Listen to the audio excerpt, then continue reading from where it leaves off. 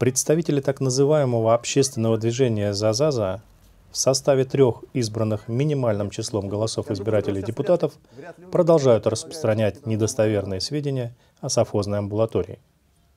Мы попросили прокомментировать информацию о якобы завышенной цене аренды здания вместе с оборудованием и прилегающей стоянкой.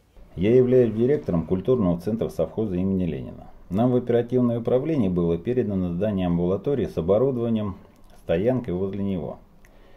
На данный момент мы ждем продолжения переговоров по вопросу заключения договора на 2022 год. В интернете появилась информация, что мы хотим 10 миллионов рублей за год. Это откровенная ложь.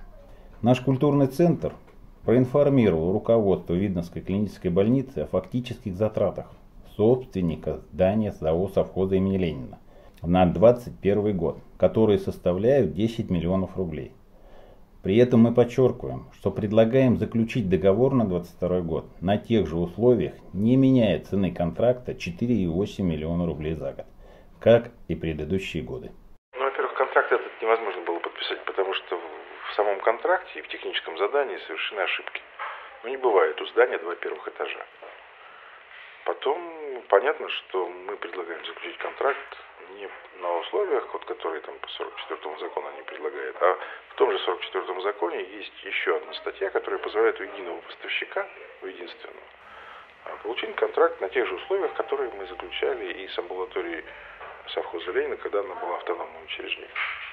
Но потом в контракте не учтены расходы на охрану, на текущий ремонт, на капитальный ремонт, на уборку территории вокруг – Почему-то новое руководство захотело отказаться от стоянки, хотя стоянка э, просто необходима, потому что амбулатория, скажем так, обслуживает не только сам поселок совхоза, но еще 10 деревень. Вот все жители ближайших территорий, они приезжают на машинах. А где эти машины будут ставить? Во дворах наших домов?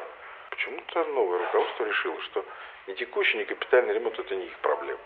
Мало того, заключали договора на коммунальные услуги, потому что отапливать давать электричество, воду, канализацию тоже необходимо.